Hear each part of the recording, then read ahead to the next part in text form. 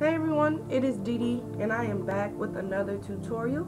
This time I'm going to show you how to take a regular straight out of the box short wig and customize it into a very very cute, very chic U-part wig. If you're interested, stay tuned and here is the tutorial for you. Okay, so first you want to look at the inside of the wig to make sure that you can take the tracks out. Um, I noticed that the tracks were just sewn on. So what I'm going to do is just take a little seam ripper and I am going to take off all the tracks that I want to remove so I can put new tracks on there um, but a different color, something that is more um, human hair. This is a synthetic wig so I want to make sure that I have human hair so I'll be able to curl it and style it any way that I want. This process is very time consuming, so um, you don't have to do all the steps that I do. But you do want to be very careful if you decide to take any tracks off of an already made wig. Usually they're probably done by um, a sewing machine, so the stitches are a lot tighter. So you definitely want to take your time. Make sure that you're cutting the thread and not the net. I'm trying to get as close as possible so you can see what I'm talking about.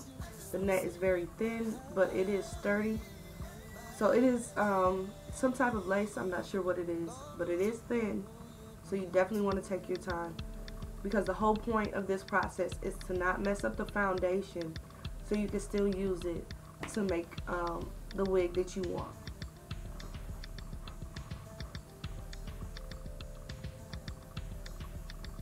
So here I'm just showing you where the tracks are and just um, how to take your time, use a seam ripper, and how you want to look for the thread.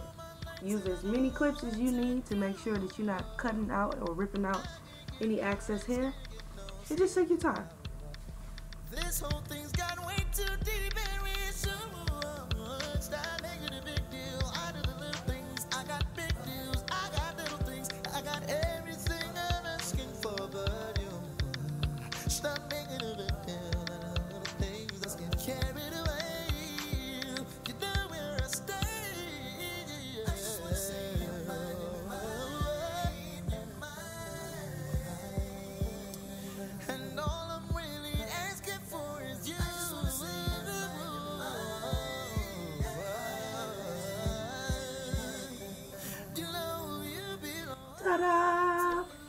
Got the first track out. So you're just to take out as many as you want. I want the whole top of the wig gone, as you can see. So it took me about 30 to 45 minutes to do this because I really took my time and I was trying to make sure that I could get as much um, on film as possible so I can show you guys. Then I just said skip it. I'll just come back in at a different time because it is very time consuming. But I just really want to show you what I was talking about um, when you're looking for the thread. I always pull the track back to add some tension so that you can see the thread lifting from the net. And then you go in with the seam ripper and you just cut the little pieces. Now I don't want to go too far back uh, with the blonde hair. So I'm cutting where I want um, the blonde hair to stop. I don't want it to be all over the top of my head. I just want the front bang piece to be blonde. And you'll see what I'm talking about. Um, this is the hair that I got. It's Onyx. I just got it from Value Beauty up the street. This is the Black Diamond collection. It is very affordable. It was about uh, $25, you know, plus some tax um, for like a 10 inch or something. I can't remember. I got an 8 inch or a 10 inch. So here you see me just outlining the U part. That's how much I took off. That's how much of the tracks that I took off.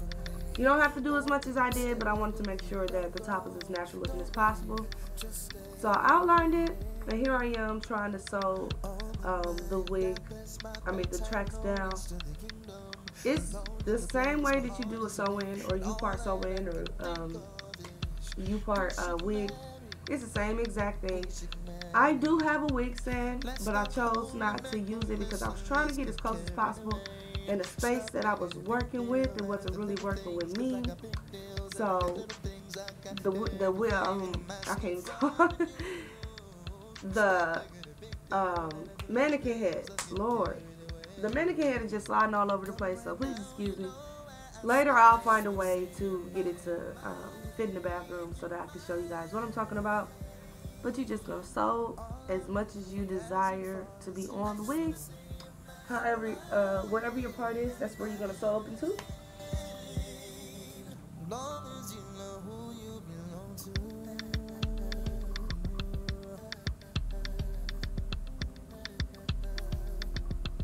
This is a little sidebar. That's the only thing about trying to do a voiceover is when you stutter or you mess up, you really debate if you want to start all the way over or just skip it. Like that's just gonna be in there. That's the, the stutter. It's just gonna. it's just gonna be on the tape, okay? Because I refuse to go back over. So here you go. This is the end of the sewing. That's how far I wanted to go up because I want my hair to be out because I want it to be as natural as possible. So right now I'm just going to cut the wig while it's on the stand because it, it's just a whole lot easier than trying to cut it on my head. And I can get it as even as I like, as short as I like, without any mistakes and mess ups. So you're just to customize it. I did a short to long um, cut just something that um, I didn't want blonde all over the top of my head. So I did one side really, really short. And I'm trying to make sure it blends correctly with the synthetic hair. And then I just cut all the way around, kind of a feathered, little taper look. I just don't want it to look like a clipper cut, if that makes sense. I want it to be just really natural, just something cute, simple.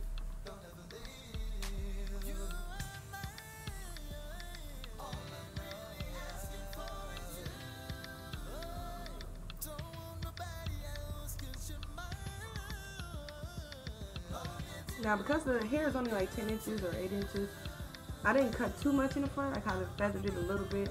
But I wanted to keep this length because for a short style, 8 inches or 10 inches is pretty long.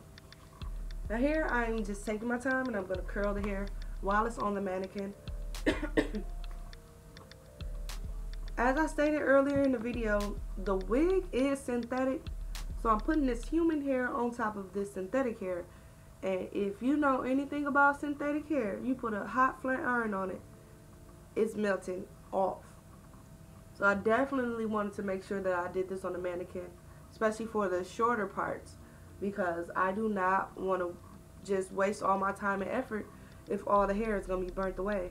And it's just going to be this human hair just scraggles at the top.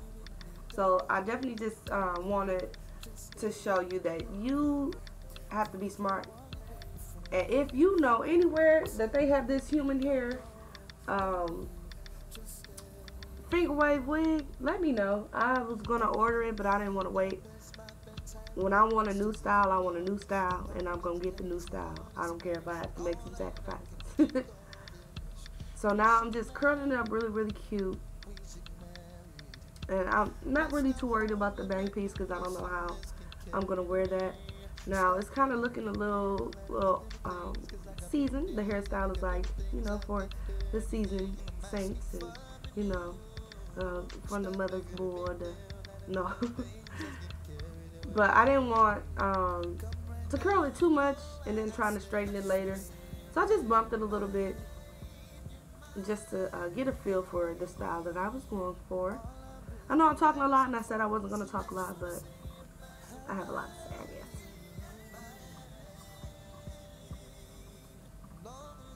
And everybody say, hey to Kyle. Hey, Kyle, you looking good, man. Got the fresh taper and the, the, the bangs on deck. so here, I am just putting the wig. I just wanted to show you really quickly the difference. I love the, the neckline, the, the tapered at the, the back of the neck. I think it looks very natural. I took a few pieces out of the back because um, it was really bulky at the bottom. But I just wanted to show you what it looked like with no manipulation, just straight off the mannequin on my head.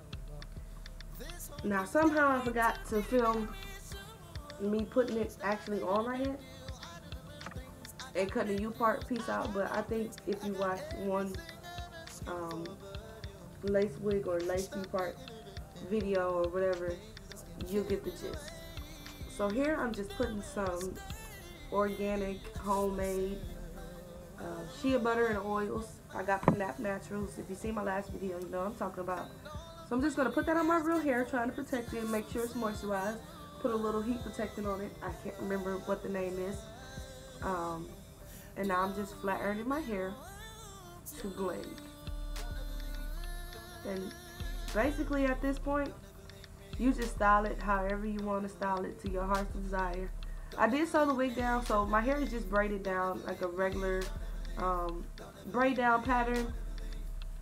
I don't really know how to, like, around the U part or the part, I have a braid, and then the rest is just braided straight back. So now I'm going to use some edge control, just slick my edges down, slick um, a little bit of the, the nape piece down for the wig. And then you just style it how you want. Whatever you're feeling, do it, girl. And there you go. Final look. Could have fixed that little front piece, but hey. Okay, Sarah. Sarah. But this is the finished look. I really love how it came out. I was a little nervous because it was my first time doing it. But I really love how it came out. I love the pop of the blonde. I love, love, love the finger waves in the back, especially at the nape piece. It looks really natural to me. And there you go, little victory dance. Boom, boom. Thank you so much for tuning in. I hope that you guys enjoyed this. I hope that you try it on your own. If you do, please follow me on Instagram or Facebook and tag me so I can see. Thank you so much for watching. Please like, subscribe, share, rate, do all of that wonderful stuff. Thank you guys. I love you guys. And I'm out. I will see you next time.